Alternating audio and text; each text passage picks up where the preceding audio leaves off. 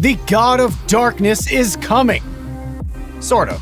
An asteroid named after the Egyptian god of darkness will be flying by Earth in 2029, and planetary scientists are saying it will have its surface dramatically altered due to the gravitational interaction between the two.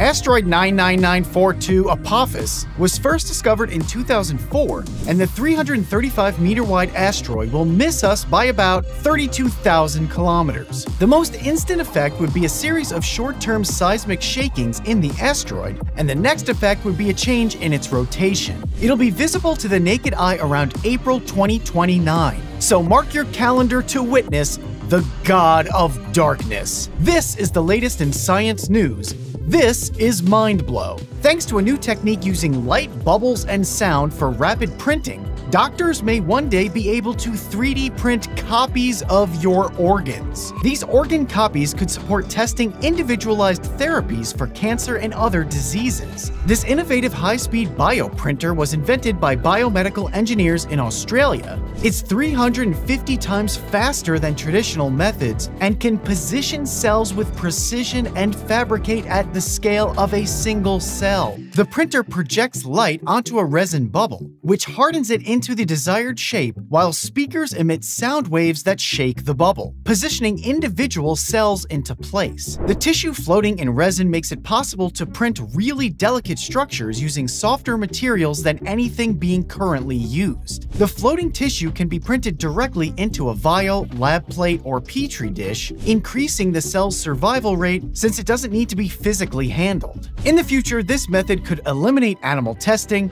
and be used for more targeted and ethical trials. And copy my liver. A team of MIT researchers have developed a miniature chip-based tractor beam that could one day help study DNA, classify cells, and investigate diseases. Using a system called an Integrated Optical Phased Array, the device is small enough to fit in the palm of your hand and uses a beam of light emitted by a silicon photonics chip to manipulate particles only 5 millimeters away from the surface. Since the light can penetrate the glass coverings that protect samples, cells remain in a sterile environment environment. By changing the wavelengths of the optical signals, researchers could steer the focused beam over a range larger than a millimeter and with micro-scale accuracy. This technique eliminates the use of bulky optical microscope setups and seems awesome.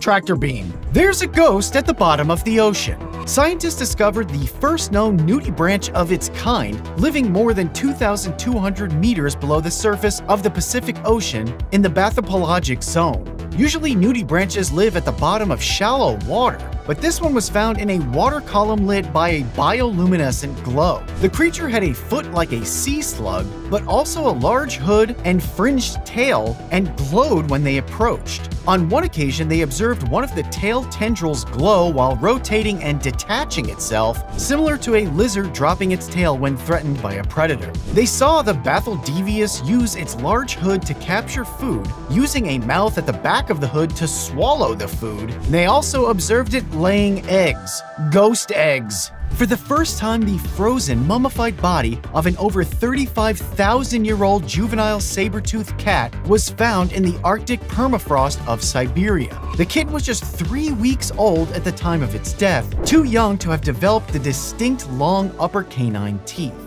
Comparing it to a modern lion cub, the saber-toothed cat had an unusually shaped muzzle, small ears, large mouth, chunky neck, elongated forelimbs, and dark coat color, all adaptations to living in such cold climates. It belongs to the species which lived in Eurasia until 10,000 years ago, and is adorable. Proxie might actually be a really useful robot? The highly adaptable robot by Collaborative Robotics, known as Cobot, was built to solve real-world material movement challenges. It combines advanced AI, mobility, and modular manipulation systems to support human-robot collaboration. Some of its first customers include the Mayo Clinic, Moderna, Owens & Minor, and Tampa General Hospital. Proxie's hardware architecture is optimized for stability and balance, and its expressive eyes capture its surroundings from eye level. With its advanced AI, it's constantly learning, and its manipulator can engage with cart handles, boxes, and totes. Proxie's mobility platform allows it to glide through complex environments with ease, moving naturally around other robots and people. And they're not looking for Proxy to replace humans, just to help them.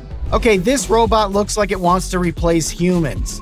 Figure 02 recently worked with BMW to show off its humanoid robot capabilities. On an operating line, Figure 02 achieved a 400% increase in speed and 7 times higher success rate. 7 times higher than what? Who knows? It performs up to 1,000 placements a day, which will improve with more robots, collected data, and improved AI models. It needed to insert sheet metal into a pin pole less than a centimeter wide, and it was successfully tested at BMW's Spartanburg plant, the first time BMW integrated a humanoid robot into its production line. They plan on deploying more humanoid robots into real-world environments by 2025, and Judgment Day comes in 2035. And now for a Laserdisc commercial featuring late legendary blind musician Ray Charles. Music video, I can't see it.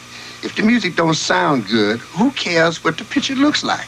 Then Pioneer gives me their laser disc player. It's a video turntable that works with a laser beam, and that laser beam makes all the difference, they tell me.